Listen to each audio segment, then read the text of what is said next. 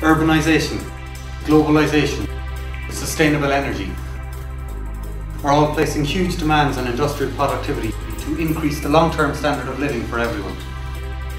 This in turn is driving the increased need for communication sophistication in the industrial environment. Hi, my name is Colin Ronan and I'm here today to show how ADI makes a difference with the industry's first signal and power isolated CAN transceivers, ADM3052 and ADM3053.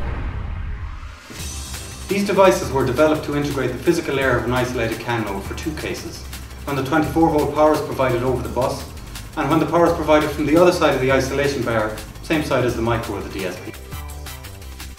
Key benefits of these products are performance, integration and ease of use, safety for both people and equipment, and they have the industry's lowest power signal isolation technology, ADI's iCoupler. Now let's consider the two cases. Firstly, where the 24 volt power is provided over the bus. The ADM3052 has an integrated regulator which regulates this plus 24 volts to provide the power to the bus side circuitry. The three optos are now replaced with low prop delay iCoupler isolation for the transmit, receive and V plus sense channels. V plus sense lets the controller know when the bus power is present or not. Now the second case is where the power is only provided from the other side of the isolation barrier. This is typical of a CAN open type isolated node.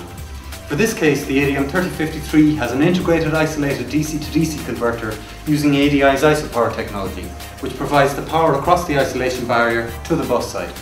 In this case, only two channels of ADI's iCoupler signal isolation is required.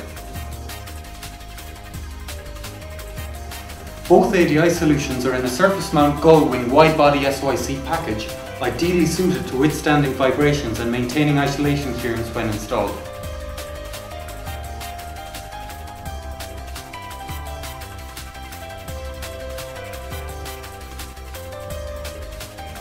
For more details on ADI's isolated CAN transceivers, please visit analog.com.